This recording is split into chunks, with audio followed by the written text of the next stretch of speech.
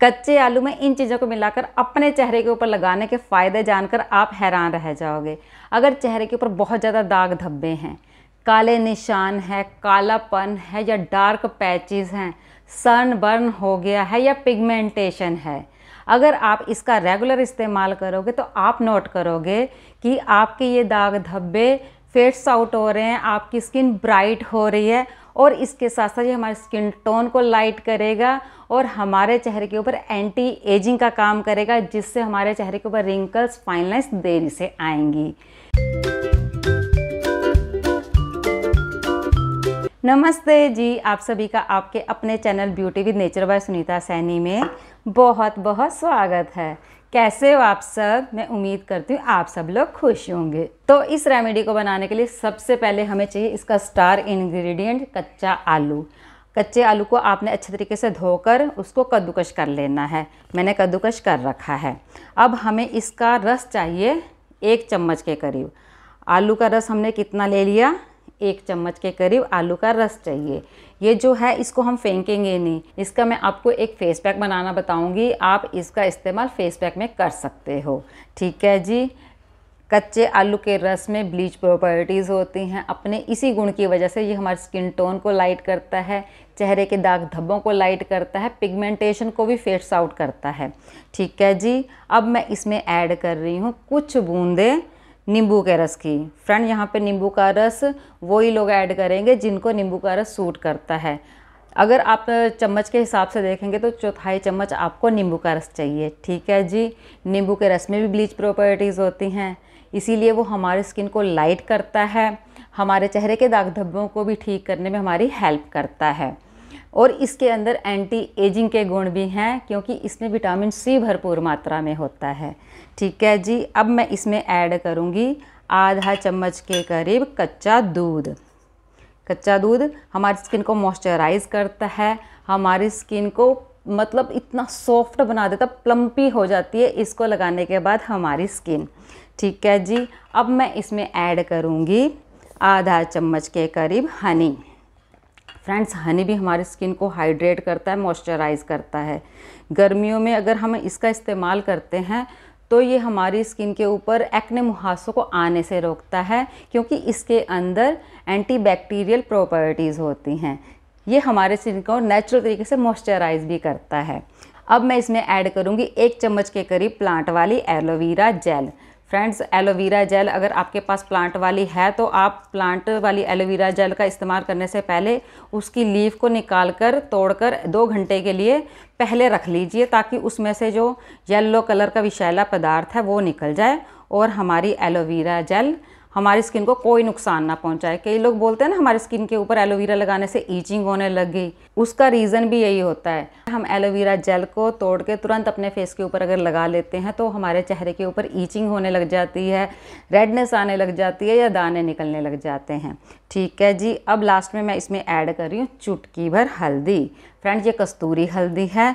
मैं इसे भी चुटकी भर ले रही हूँ, ज़्यादा नहीं लूँगी। अगर हम अपने फेस पैक में हल्दी को ज़्यादा डाल लेते हैं तो ये फेस को वॉश करने के बाद फेस के ऊपर स्टेन छोड़ जाती है और हमारी स्किन डल दिखाई देने लग जाती है। हम फेस पैक लगा रहे हैं अपनी स्किन को खूबसूरत बनाने के लिए।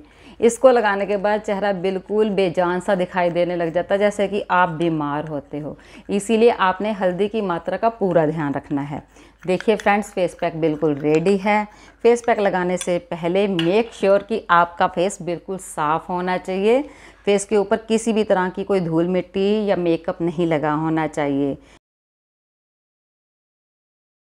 मैंने अपने फेस को साफ़ करने के लिए कच्चा दूध लिया है। अगर फ्रेंड्स आपको कच्चा दूध सूट करता है और आपकी स्किन ड्राई है तो आप कच्चे दूध से ही अपने फेस को साफ़ किया कीजिए और रिज़ल्ट देख सकते हो। फ्रेंड्स कहने की बात नहीं है, आप दो चार दिन करके देखिए। आपको अपनी स्किन के अंदर विजिबल चेंज दिखाई देगा। आप अपनी स्किन को खुद देखोगे कि आपकी स्किन के अंदर चेंज आ रहा है।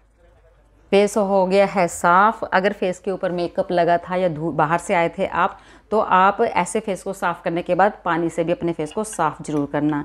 मैं नहीं कर रही क्योंकि मेरे फेस के ऊपर कुछ भी नहीं लगा था। लिपस्टिक लगी थी, वो भी मैंने निकाल दी। अब हमारा ये फेस पैक रेडी है। इसको हमने कैसे यूज़ करना है? फ्रेंड्स इसको लगाने में आपको थोड़ी दिक्कत हो सकती है क्योंकि इसमें हमने प्लांट वाली एलोवेरा जेल का इस्तेमाल किया है। आपने इससे अपने फेस के ऊपर दो मिनट मसाज करनी है। मसाज बहुत लाइट हैंड से करनी है। फ्रेंड्स ये इतना लाइट वेट फेस पैक बनकर तैयार होता है, इसको लगाने के बाद आप अपना घर का काम भी कर सकते हो। आपको ये नहीं है कि इसको लगाने के बाद लेटना ही लेटना है। फ्रेंड्स अगर आप मेरे रेगुलर व्यूवर हो तो आप ये ज़रूर जानते होंगे कि मैं आपको अपनी हर वीडियो में बोलती हूँ कि फेस पैक लगाने के बाद लेट जाइए। अपने लिए 10 मिनट ज़रूर निकालिए। वो ऐसा इसलिए बोलती हूँ क्योंकि ग्रेविटी का नेचर है कि वो हर चीज़ को नीचे की तरफ़ खींचती है। देखिए, हमारी स्किन ऑलरेडी नीचे की तरफ़ खींच रही है। ठीक है? इसको तो हम नहीं रोक सकते। हमने उसके ऊपर फेस पैक लगा दिया। हमने उसका वेट बढ़ा दिया। अब आप खुद देखिए, जिस चीज़ के अंदर वेट होगा, वो जल्दी खींचेगी नीचे की तरफ़।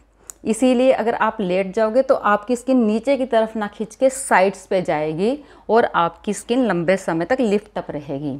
एक काम तो आप ये करो और दूसरा रात को सोते समय अपने फेस को वॉश करके कोई ना कोई क्रीम लगा के ज़रूर सोया कीजिए, ताकि आपकी स्किन रात में जब रिपेयर हो तो उसकी स्पीड दोगुनी हो जाए। ठीक है जी? और अपने खाने पीने का भी आपने पूरा ध्यान रखना है, क्योंकि इंटरनल और एक्सटर्नल दोनों मिलकर ही हमारी स्किन के ऊपर ग्लो लाते हैं, हमारी स्किन को चमकाते हैं। देखिए फ्रेंड्स अगर आपको वीडियो पसंद आ रही है तो जल्दी से वीडियो को लाइक कर दीजिए, आपका एक लाइक आप नहीं जानते मेरे लिए कितना कीमती है। मुझे मोटिवेशन मिलता है कि मैं आप सभी के लिए और अच्छी अच्छी वीडियो बनाऊँ। और अगर आप इस चैनल पर नए हैं तो चैनल को सब्सक्राइब भी ज़रूर कीजिएगा। फ्रेंड्स, इस फेस पैक को सभी यूज़ कर सकते हैं। बस वो ही इसका इस्तेमाल ना करें, जिनको इस फेस पैक में डाले के किसी इंग्रेडिएंट से एलर्जी है, उनकी स्किन को नुकसान हो सकता है। वरना करके देखिए, हर किसी की स्किन थैंक यू बोलेगी। फ्रेंड्स, देखिए, फेस पैक लग चुका है। दो मिनट हो गए थे मुझे मसाज करते हुए दस मिनट मैं इसको ऐसे ही लगा छोड़ दूँगी। फिर मैं आपको साफ़ करके दिखाती हूँ कि इसका रिज़ल्ट कैसा आता है। फ्रेंड्स, दस मिनट हो गए, मैं आपको साफ़ करके दिखाती हूँ। आप रिज़ल्ट देखिए। देखिए।